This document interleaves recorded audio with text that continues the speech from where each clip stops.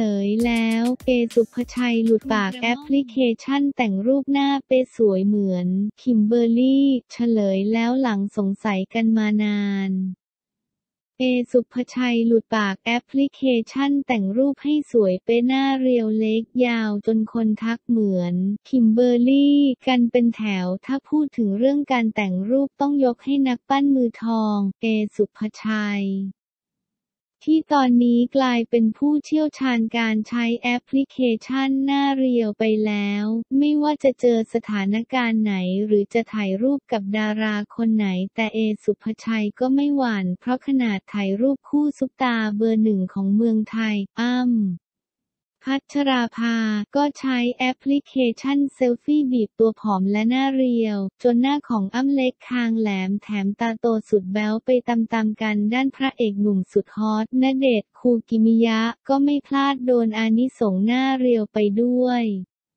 จนชาวเน็ตพากันติดแฮชแท็กเครื่องหมายสี่เหลี่ยม save ณเดชน์กันมาแล้วล่าสุดนักปั้นมือทอง เอ ศุภชัย เปิดตัวช่างใหญ่ที่ช่วยแต่งหน้าให้สวยเป๊ะปัง คือนางเอกสาว คิมเบอร์ลี่แอนเทียมศิริหวานใจของพระเอกหนุ่มหมากปริญ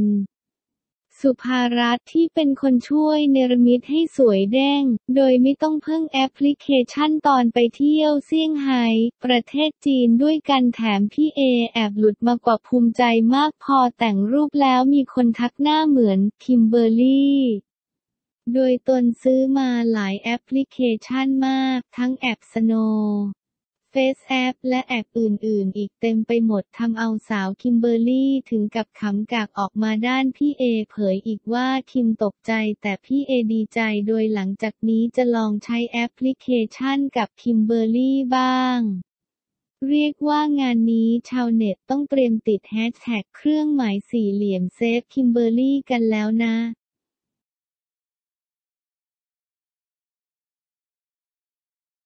สาวรรณสาชีวิตแม่เลี้ยงเดี่ยว 14 ปีต้องสู้โชคดีพบรักใหม่จากมือสู้โรคเนื้องอกที่มดลูกชีวิตยิ่งกว่านิยายดาราเจ้าบทบาทสาววรรณสาโลโก้ คุณแม่เลี้ยงเดี่ยวเลี้ยงดูลูกน้อยป่วยออทิสติกเพียงลำพังมากว่า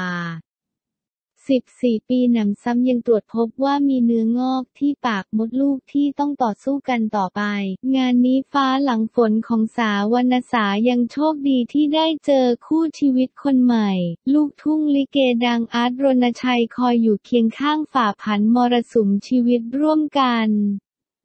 ล่าสุดเจ้าตัวขอมาอัปเดตชีวิตสุดดราม่าแบบจัดเต็มกลางรายการแซดสตอรี่ช่องอมรินทร์ทีวี HD ช่อง 34 แบบถึงพริกถึงขิงกับชีวิตคุณแม่เลี้ยงเดี่ยวต้องสู้กันมา 14 ปีแล้วดูแลน้องที่เป็นเด็กพิเศษด้วย สำหรับชีวิตคุณแม่เลี้ยงเดี่ยว 14 ปีแล้วนานมากนะ หัวเราะเหนื่อยมากเหนื่อยเหมือนชีวิตแม่เนี้ยแหละ คือมันเหมือนกับว่าเราต้องประคับประคองชีวิตเด็กคนหนึ่งให้โตขึ้นมา ต้องเป็นเด็กที่ดีต้องเรียนโอเค ต้องเป็นคนดีนะรู้จักมีน้ำใจเราต้องใส่มันเข้าไปและนั้นคือเราต้องเป็นก่อนแล้วด้วยความที่น้องเป็นเด็กพิเศษด้วย เขาเป็นออทิสติกระดับต่ำคือเป็นลักษณะสมาธิสั้นและก็จะมีการเรียนรู้อ่านเขียนช้านิดหนึ่ง แต่ตอนนี้สาปรับทุกอย่างเรียบร้อยแล้ว จะเหลือแค่ว่าพูดไม่รู้เรื่องเนื้อ แม่จะต้องใจเย็นมาก ถ้าใครเย็นได้บอกเลยว่าจะเป็นของขวัญพิเศษ เพราะว่าเมื่อก่อนสาร้อนมากพอเราเย็นลงเขาก็จะเย็นตาม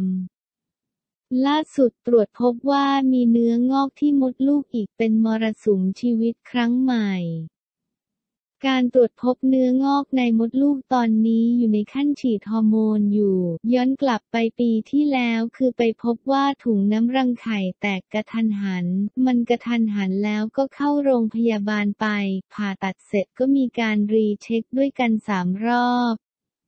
ษาก็เช็คครั้งที่หนึ่งครั้งที่สองโอเค ครั้งที่สามเราไม่มีเวลาแต่ว่าไปเข้าโรงพยาบาลมาต้นปี เพราะปวดท้องเพราะโรคกระเพาะคนหมอก็เลยแบบว่าเช็คแล้วว่าระบบทางเดินอาหารเช็คแล้ว ให้หมอสูติเช็คหน่อยแล้วกัน เพราะว่ามันเหลืออีกครั้งหนึ่งพอไปเช็คปุ๊บคุณหมอก็บอกว่ามดลูกมันบิดตัวไปข้างซ้ายเพราะผิดตำแหน่ง แล้วเหมือนไปรังข้างซอยแล้วตรงยอดมดลูกอะค่ะมันจะมีเนื้องอกอยู่ประมาณ 8 มิลนะคำว่าเนื้องอกมันก็ทำให้เราตกใจมากเลย เครียดหรือกังวลกับอาการเนื้องอกที่มดลูกครั้งนี้ยังไงบ้าง ความจริงมันอาจจะไม่ได้ใหญ่มาก 8 มิลมันอาจจะเล็กนิดเดียวหมอให้คำแนะนำว่าหมอไม่ได้ซีเรียส คือบอกว่าเนื้องอกจริง แต่ว่าเราอาซีเรียสมากหมอกกว่ามันไม่ใช่เนื้อร้ายหรือว่าเป็นมะเร็ง แต่เรากลัวเราซีเรียส ก็อึ้งไปเลยสองวิแล้วก็ถามหมอต่อว่ารักษายังไงหมอก็เลยให้เลือกระหว่างกินหรือว่าฉีด กินยามันก็จะเหมือนกับว่าเรากินยาคุมปกติ มีลูกสอนบอกเราก็กลัวจะกินผิดกินถูกเลยบอกหมอว่าเราไม่เอาเอาเป็นฉีดแล้วกัน ฉีดครั้งละ 3 เดือน 1 เข็มหมอบอกต้องฉีด 3 รอบประมาณ 9 เดือน แต่สิ่งที่น่ากลัวที่สุดเลยคือน้ำหนักมันจะขึ้น ภายใน 1 เดือนสาวบวมขึ้นมา 7 เดือนอาจจากน้ำหนัก 52 มาเป็น 59ยอมรับการเปลี่ยนแปลงของรูปร่างตัวเองได้ไหม กับการรักษา ความจริงขึ้นมาแค่หนึ่งถึงสองโลเราก็ซีเรียสแล้ว เพราะเราอยู่ในวงการใช่ปะพอขึ้นมาเจ็ดกิโลตู้เสื้อผ้าแบบว่าคือใส่อะไรไม่ได้เลย ต้องใส่เหมือนว่าชุดคลุมท้องอะน้อยมากแล้วก็เครียด มันเลยมีผลกระทบให้เราหงุดหงิดง่ายอะคนข้างๆก็จะโดนไปหมดเหวี่ยงวินไปหมด แล้วมันก็เลยเหมือนกับว่าเราเป็นโรคซึมเศร้าอะทำไมฉันใส่ชุดนี้ไม่ได้เครียดไปหมดฮอร์โมนมันขึ้นมันเลยได้รับผลกระทบอาการแบบนี้ แค่หายใจก็อ้วนแล้ว หัวเราะกำลังฉีดเข็มที่สองเดือนหน้า กับชีวิตรักล่าสุดหนุ่มรุ่นน้อง อาร์ตรณชัยประทับใจตรงไหน คือจากประสบการณ์ชีวิตเราที่ผ่านมา หัวเราะเลยขอให้เจอคนดีที่เขารักไม่ใช่เรารักเขาแล้วเราก็มาเจอเขาเขาก็ดูแลเราแบบพี่น้องอะแต่ที่ชอบเขาจริง ๆ ก็คือว่าเขาเป็นคนดีอะไม่ได้อวยกัน เขาเป็นคนดีและทำจิตอาสาด้วยขับรถไปเจอรถชนคนเป็นลมก็ลงไปช่วยหมดจิตใจดีมากแม่เราก็รักเขาเป็นแม่ยกหัวเราะติดตามทุกประเด็นร้อนทุกซิปทุกเรื่องที่เป็น Talk of the Town ในรายการ Z Story เพราะทุกที่มีเรื่องเมาออกอากาศทุกวันจันทร์ศุกร์เวลา 14 นาฬิกา 50 นาที ทางอมรินทีวี HD ช่อง 34 หรือรับชมย้อนหลัง YouTube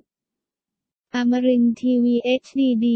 สาวรรณสา เคลียร์เหตุเพราะอะไรถึงไม่ต้องการความช่วยเหลือจากอดีตสามี เผยใจถึงรักครั้งใหม่ สาวรรณสา โชว์รูปร่างสุดเป๊ะในวัยเลขสี่ทุกสายตาโฟกัสหุ่นทุกสัดส่วน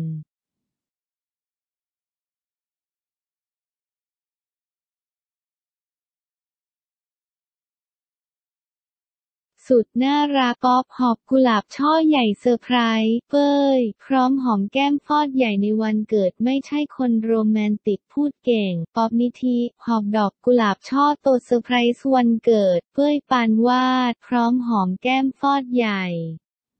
ก่อนเขียนอวยพรหวานซึ่งขอให้มีความสุขรักที่รักมากนะคะเรียกได้ว่านานๆ ทีถึงจะเห็นโมเมนต์โชว์หวานออกสื่อเลยก็ว่าได้สำหรับคู่ของนักแสดงสาวสวยลูกสองอย่าง เป้ยปานวาดบุญยรัตน์กลิน และสามีหนุ่มป๊อป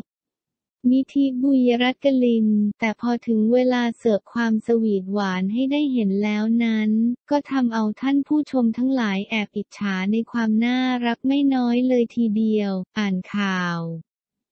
เป้ยป๊อปควงกันมอบเงินบริจาคกกว่า 6 0แสนเพื่อจัดซื้ออุปกรณ์เครื่องมือทางการแพทย์ อย่างล่าสุด 28 ธันวาคม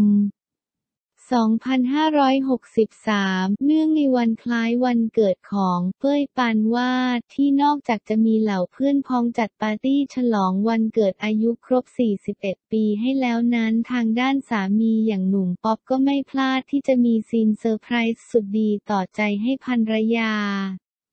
โดยงานนี้สาวเป้ยก็ได้เผยคลิปช็อตน่ารักขณะที่หนุ่มป๊อปเดินหอบดอกกุหลาบช่อโตมาเซอร์ไพรส์พร้อมกับหอมแก้มฟอดใหญ่ลงในอินสตาแกรม พร้อมกับใส่อีโมจิเค้กและรูปหัวใจประกอบ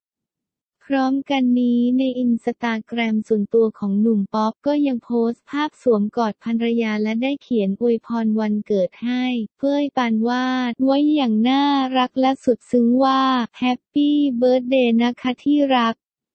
ปีที่ผ่านมาเป็นปีที่เราสองคนน่าจะเหนื่อยและหนักกันมากในหลายๆ เรื่อง แต่ในเรื่องราวที่ไม่ดีก็จะมีโอกาสดีๆ ให้เราได้เรียนรู้เสมออย่างน้อย เราก็ได้เรียนรู้ว่าเรารักกันมากแค่ไหน ที่รักน่าจะรู้ว่าเขาอาจจะไม่ใช่คนโรแมนติกเขาไม่ใช่คนพูดเก่งไม่ชอบแสดงความรู้สึกโดยเฉพาะเรื่องความทุกข์เรื่องงานเรื่องเครียดเครียดต่างๆ ก็มักจะเก็บไว้คนเดียว เพราะไม่อยากเอาเรื่องไม่แฮปปี้มาฝากคนในบ้าน ขอโทษสำหรับทุกๆเรื่องและขอบคุณที่อยู่ข้างๆกันไม่ว่าอะไรจะเกิดขึ้นขอบคุณที่เป็นทั้งภรรยาและแม่ที่ดีที่สุดของลูกๆ อยากให้รู้ว่าในความนิ่งๆของเขา เขารักที่รักมากๆนะคะในวันเกิดปีนี้ขอให้ที่รักมีความสุขมากๆสัญญาว่าจะพยายามทำให้มีความสุขมากที่สุดเท่าที่จะทำได้ สุขภาพแข็งแรง ดูแลสุขภาพเยอะๆหน่อย สมหวังในทุกๆสิ่งที่ปรารถนานะคะ รักนะครับไอเอ็มนอต The best but I love you the most สุขสันต์วันเกิดนะคะ ซึ่งหลังจากที่ได้เผยโพสต์อวยพรวันเกิดให้สาวเป้ยไปแล้วนั้น ก็มีบรรดาเพื่อนพ้องและแฟนๆ เข้ามากดไลค์และคอมเมนต์ชมความน่ารักกันยกใหญ่ทั้งนี้เพื่อนซีของภรรยาอย่างเมพิชชนาธก็ไม่วายเข้ามาคอมเมนต์บอกว่า ฝากเป้ยด้วยนะ ติดตามข่าวบันเทิงเพิ่มเติม